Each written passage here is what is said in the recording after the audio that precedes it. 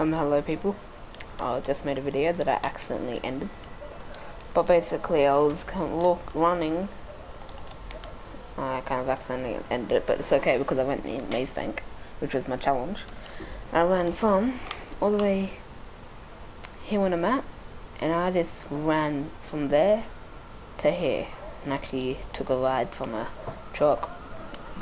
Thing. So basically, that was a challenge, but what I'm making this video for, which I didn't really need to make another one, but the requirements, basically, when people say it has to be from 3 to 8, it means it has to be from like 15, because GTA has a 24 hour clock, so it has to be from 15 to 20,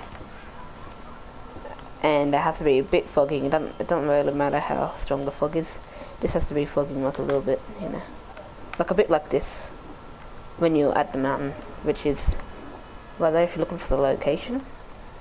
Because she's at my puzzle. Just right there. Alright, and um, peace out.